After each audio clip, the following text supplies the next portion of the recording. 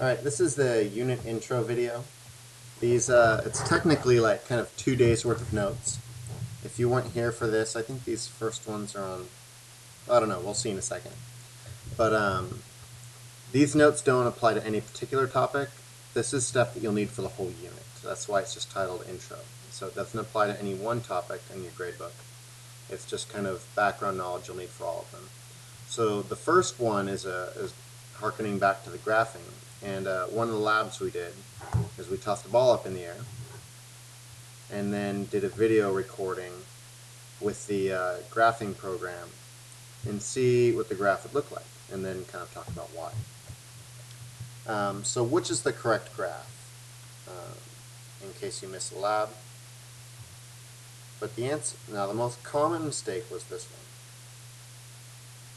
This one says the ball starts in your hand, start leaves your hand and it's going slow, and then as it goes faster, faster, faster, faster, really fast, slow, slow, slow, slow, slow. But what happens when you toss the ball up in the air is it goes fast at the bottom, stops for a second at the top, and then goes faster as it falls. So this is the real one. It leaves your hand going fast, slow, slow, slow. This is the top. It's going zero.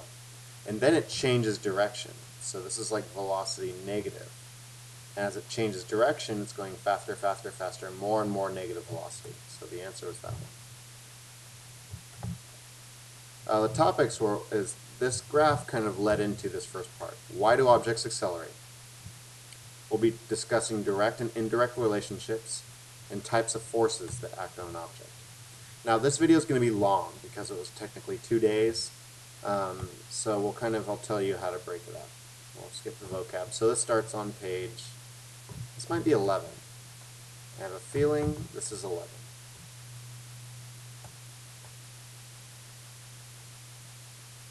So, when we talked about this, um, we did an Angry Birds video, and as the birds flew through the air, their forward motion was constant. You don't need to take notes on this, just kind of pay attention. The up and down motion was this negative acceleration, constant. So, what do objects need to accelerate is like the first question. Objects need a Objects will only accelerate when forces are acting on them. It's a kind of a big core idea. As a as the Angry Bird is flying through the air forward, as soon as it leaves the, the slingshot, nothing's pushing it forward, nothing's slowing it down, so it just kept moving at constant velocity. However, when you throw something up, it slows down, hits the top, and then comes back down, and it's going faster and faster because it's constantly being pulled downward by gravity. So that constant gravity equals constant downward acceleration. Okay. Relationship between small and large forces.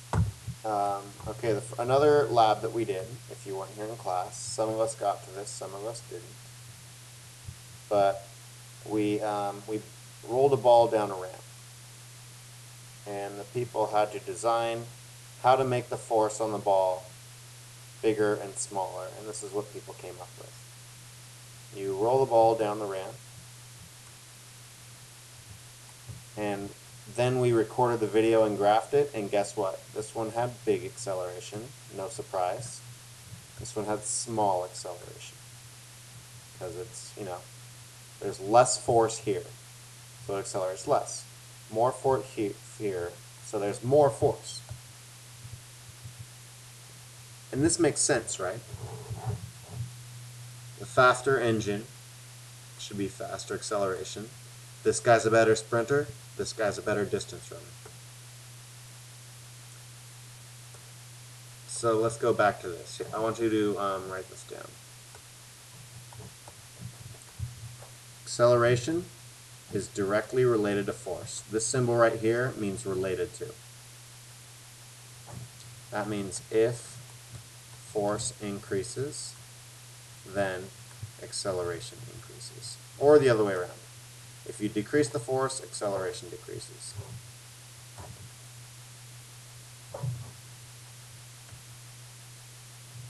Same thing, uh, we did another experiment that not everybody got to. Put a little, I put a little cart right here,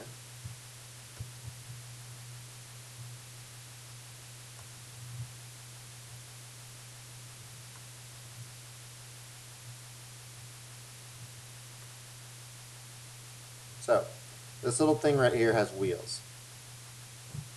And then there's this kind of weight. Call it five kilograms. This weight's providing the force as the rope goes around the pulley. If it's a small mass, and then we took the same scenario, only we doubled, we put stacked two carts, two times the mass. And guess what? If the force was the same, acceleration was less.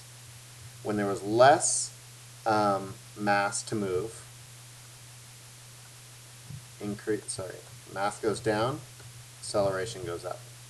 So this is a, what we call a indirect relation.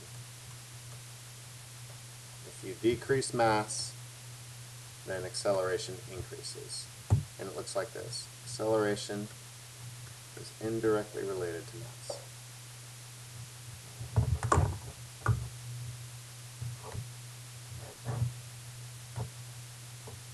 This makes sense too. Jockeys are tiny. We wouldn't put this guy on top of the horse to race because it would be more mass for the horse to carry, and the horse is uh, still same. So we've got those two vocab words covered. And this is Newton's second law. When forces are unbalanced, that's key, underline that, an object will accelerate related to the force and indirectly related to the mass. The formula looks like this, or more commonly, force equals ma. So that should be it for that page. And now we're going to the next part. So try this um, warm-up. Pause the video and see if you can figure out if you triple the mass, what would the new acceleration be? I'll give you a hint. There's only one logical answer. Here's the answer. If you increase the mass, does the person get faster? No. Maybe stay the same, in all likelihood they lose acceleration. If you because it's acceleration is indirectly related to mass. So acceleration is one, and if you triple mass, that's the same as one third the acceleration. If it was half, double the mass, times two down here, it would be half the acceleration. Okay, types of forces.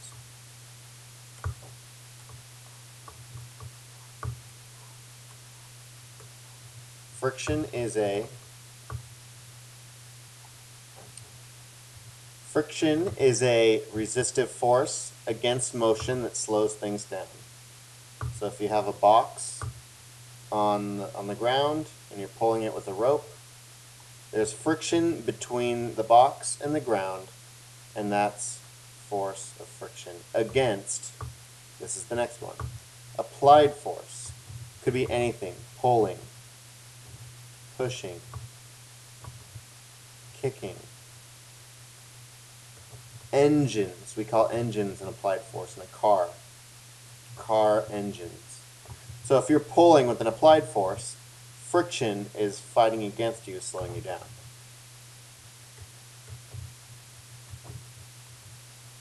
Air resistance is just air friction against motion.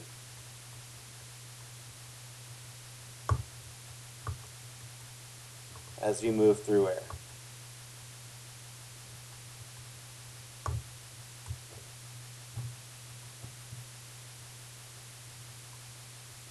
Tension. Here's a box hanging from a rope. This would be tension. Force from ropes. We won't need to know that a ton, but you will hear it a lot in your textbook. So just be familiar. That just means force from ropes.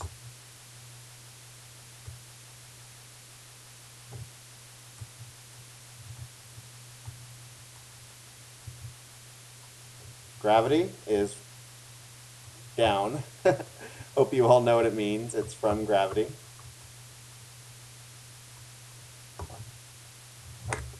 So if we have a box on a table, there's gravity pushing down. The normal force we'll get to later. Okay, so now page 13. Page 13 is titled Free Body Diagrams. Please write this down.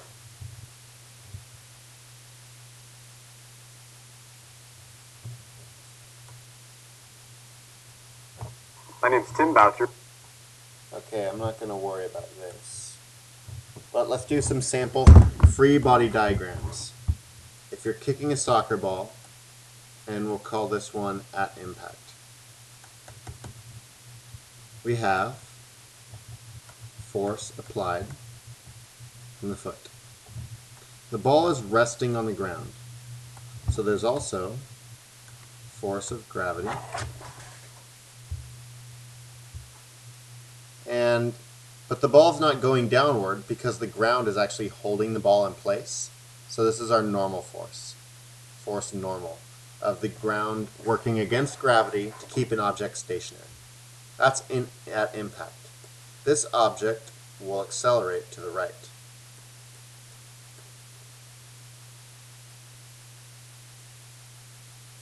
Now, once the ball's in the air, it feels a little bit of friction, or air resistance, sorry, air resistance, a lot of gravity, and will accelerate mostly down. And its velocity, by the way, is to the left. Sorry, acceleration should have been left over here. I just caught that. So it's moving this way, so air resistance is backwards, but it's mostly being pulled down. Here's another one. Uh, we're going to ignore this. And we'll call this like constant force example. This previous one here, by the way, this was a, um, we'll call this a temporary force. Because you kick it and then that's it. You're not touching it anymore when it's in the air. Our constant force example would look like this. Here's a drag racer. Big wheel in the back, little wheels in the front. The car feels some air resistance, some friction between the metal. There's also gravity and the normal force as the ground pushes up. So the, the car isn't falling downward as it sits on the ground. These two forces are balanced. They cancel each other out. But this definitely feels a huge applied force from the engine. So this will accelerate to the right. Okay, here's your assignment on page 12. Draw three or four free body diagrams. Label all forces acting on the object, as well as the direction of the unbalanced force and the direction of acceleration. Well, here's the example. This is like the soccer ball before, only I've labeled the force unbalanced. Here I go again.